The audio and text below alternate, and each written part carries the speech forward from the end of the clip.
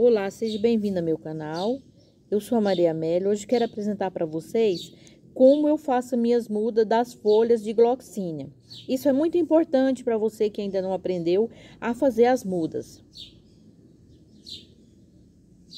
É, o primeiro passo é você tentar conseguir fazer as batatinhas. Quando você aprender a fazer as batatinhas, aí fica tudo mais fácil. Então, você pode plantar na areia, é, em matéria orgânica da beira de mata, aquelas folhinhas secas com pauzinho, é, que já está em decomposição, fica tipo uma, uma farofinha, esses também são bons. Mas aqui eu estou fazendo nesse local, que é embaixo de um pé de acerola, é, no local sombreado, mas com bastante claridade.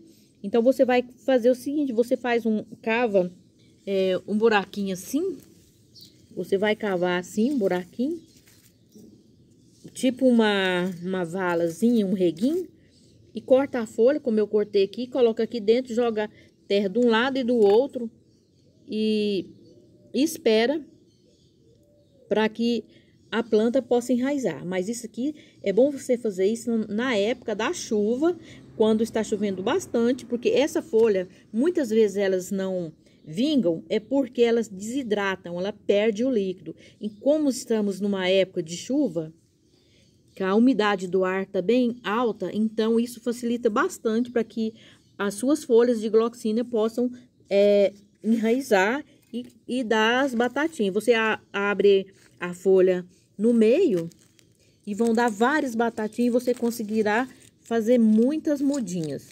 Como essa aqui, ó, ela já tem uma, duas, três, quatro, cinco, seis, sete. Então, tenho várias. Algumas ainda não enraizou, porque eu plantei nesse final de semana. Você pode estar tá mexendo assim com cuidado, olhando. Eu faço isso para ver se tá dando certo. Também você pode fazer essas, é, enraizar também na areia. Depois eu mostro e tem alguns vídeos também que mostram outras formas que eu faço as minhas mudinhas. Olha aqui, já tá enraizada, já tem batatinha. Hora que der as batatinhas, você tira as batatinhas e planta numa vasilha. Aqui, eu plantei outras aqui.